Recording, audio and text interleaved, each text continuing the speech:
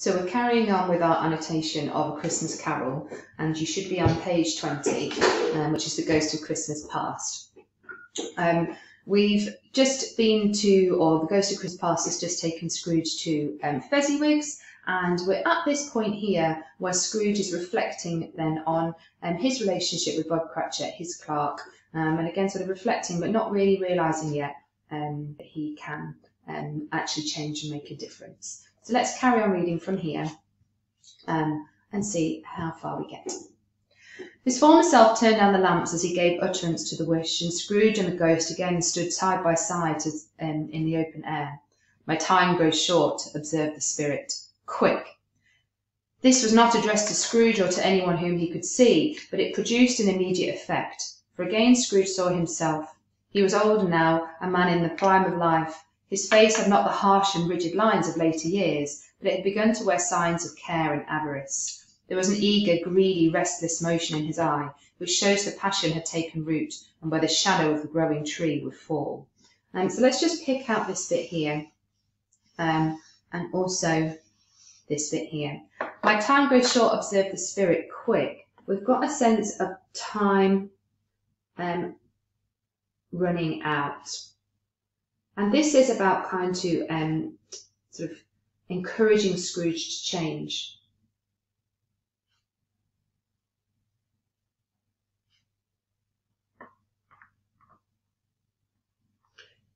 Okay, so he wants to encourage Scrooge to change. Scrooge is starting to reflect on realizing that he's maybe, you know, could have done things differently. Um, but the spirit is trying to give this sense of, well, now you need to do something about that. Um, you haven't got forever just to kind of um, keep reflecting on, on the past. You, you need to now do something about it in the future.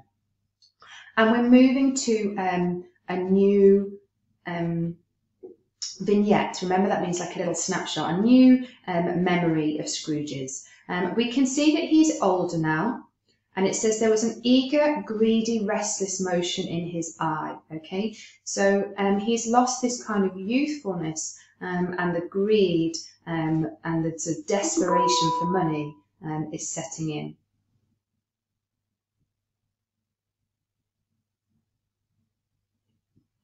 Um, and he describes it as like a passion for money. Um, where the shadow of the growing tree would fall. So we've almost got this um, um, metaphor here of this kind of um, the sort of evil of money growing inside him. It's it's taken root.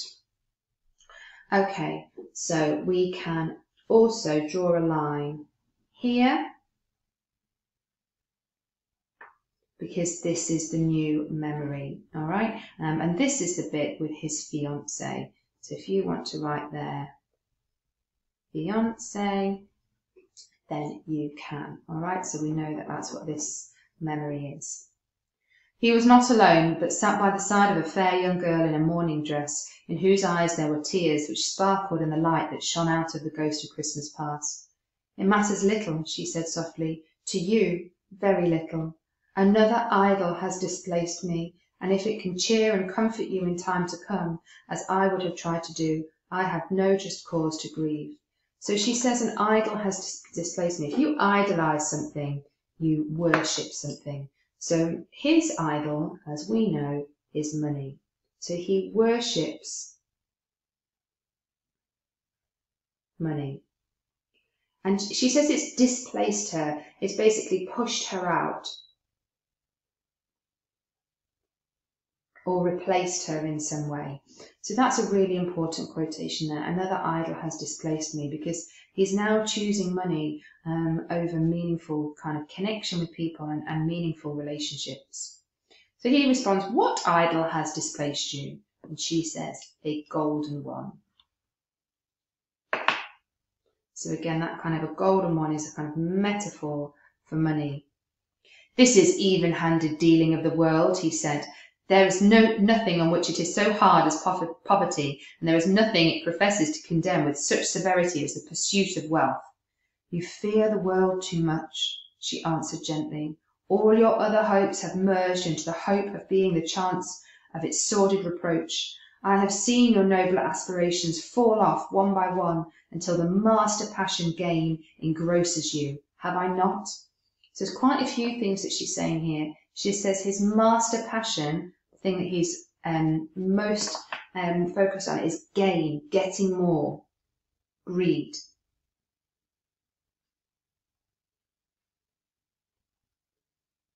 Is the main thing in his life. That's his main focus.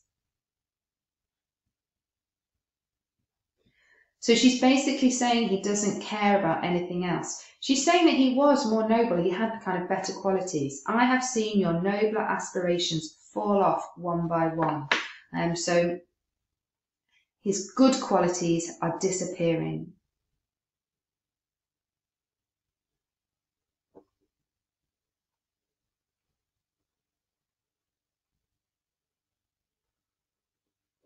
So he wasn't always this way. Move this up so you can see it a bit better. Okay, so his good qualities are disappearing and he's now just got this sort of one singular focus. And that's kind of a good word, let's note that down. Singular or single focus.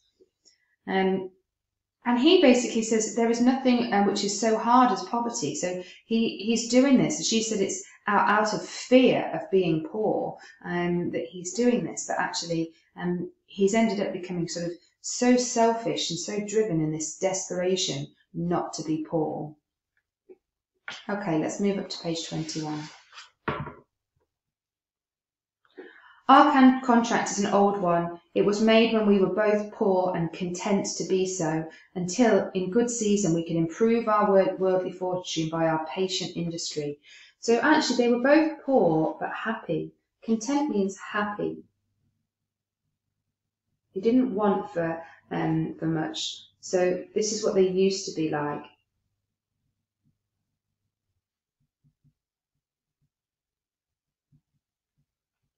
So even Scrooge himself um, was poor but happy, um, and not poor like sort of um, necessarily like uh, the Cratchit poor, but but um, poorer than obviously he is at the beginning. Um, and they were just going to patiently kind of work hard. You are changed. When it was made, you were another man. I was a boy, he said impatiently. Your own feeling tells you that you are, were not what you are, she returned. I am. That which promised happiness when we were one in heart is fraught with misery now that we are two. How often and how keenly have I thought this, I will not say. It is enough that I have thought it and can release you. Have I ever sought release?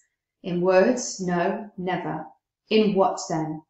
In a changed nature, in an altered spirit, in another atmosphere of life, another hope as its great end, in everything that made my love any worth or value in your sight.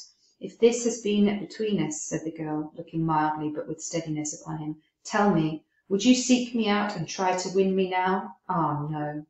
So she's basically saying that, you know, um, these these words again that we think about um, associate that link with money. Remember words that kind of into a particular topic. We can call that the semantic field of money. So we think of things of worth and value, um, but really what she's talking about is love having a worth and value. And we know for Scrooge, things that have worth and value are, are things that have a, a monetary value. Um, and basically, what she's saying here is, you know, you you wouldn't you wouldn't want to be with me now um, because uh, we've got very different priorities in life. He seemed to yield to the justice of this supposition in spite of himself, but he said with a struggle, "You think not." I would gladly think otherwise if I could, she answered. Heaven knows! When I have learned a truth like this, I know how strong and irresistible it must be. But if you were free today, tomorrow, yesterday, can even I believe that you would choose a dowerless girl? Now, um, historically, um, the parents, the father would have um, given money um, um, to the, the person, the man that, that his daughter was going to marry. Um, and sort of the more they could pay, the more then, you know, the, the richer the family, the more they would pay, and the more kind of then attractive that girl would be. Uh, because as well as getting a wife, the man gets a lot of money. But um, she's obviously from a poor family, um, so her father wasn't able to give any money. You who are in your very confidence with her weigh everything by gain, or choosing her if for a moment you were false enough to your one guiding principle to do so, do I not know that your repentance and regret would surely follow? I do, and I release you with a full heart for the love of him you once were.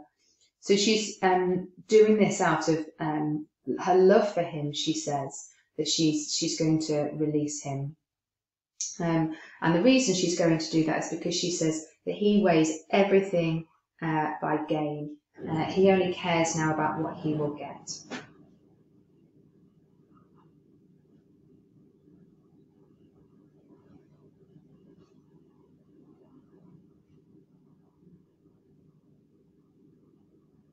Um, and she really is admitting that you know she's she's she's poor. She's from a poor family.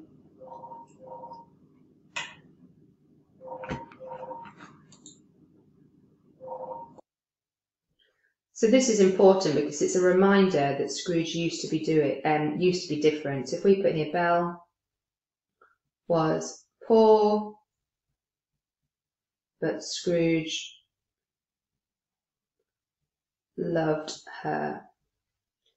Um, and so we can just put shows he was different in the past.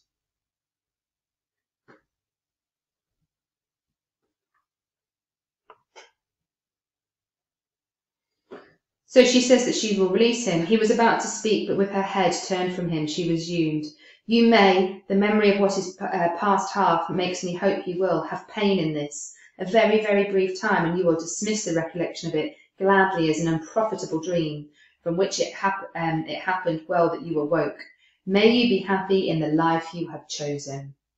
Um, so again, she's just um, saying to him, actually, she hopes that this will hurt him, like because he did care about her in the past. If it doesn't hurt him, then obviously that's upsetting for her because it says that he doesn't really care about him anymore. Um, and that you know he'll he'll sort of just think of it as a dream. He'll sort of forget about it. Um, and she says, "Well, if this is what you've chosen, then you can be happy with it." She left him, and they parted. So that is the end um, of that memory, that vignette with Belle. And now Scrooge turns back to the spirit. Spirit, said Scrooge, show me no more. Conduct me home. Why do you delight to torture me?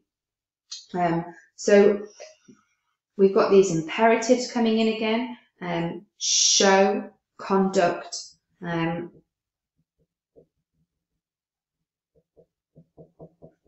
showing that he's kind of being very demanding, um, but also that he's desperate to get away. These are upsetting him. But he's also still being very selfish, which we can see from these um, personal pronouns. Show me no more, conduct me home. Why do you delight to torture me? Um, the focus is very much on him um, himself. So you can put selfish.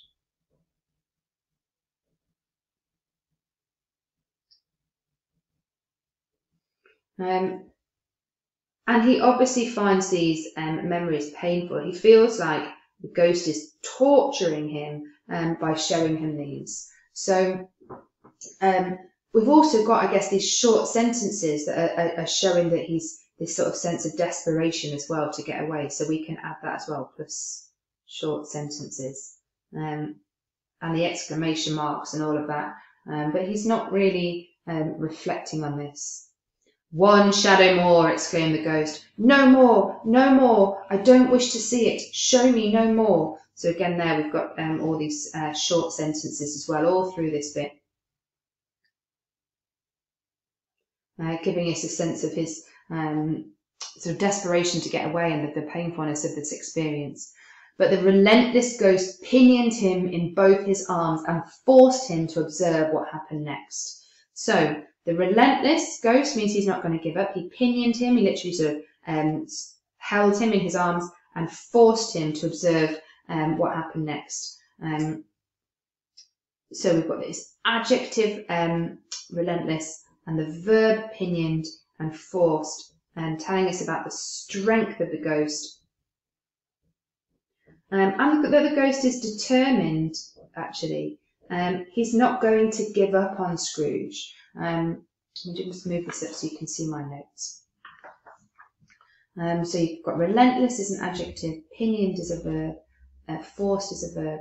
And I've just noted that it really tells us that the ghost is, has got strength um, and he's determined um, and he's not going to give up on Scrooge.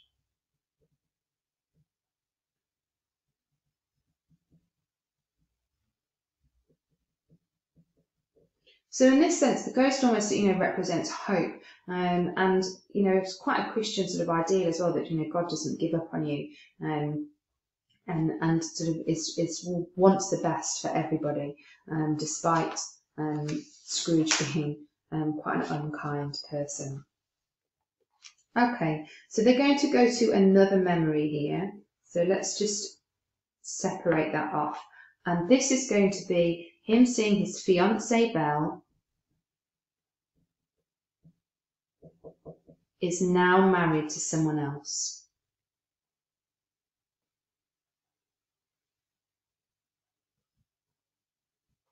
They were in another scene and place, a room not very large or handsome, but full of comfort.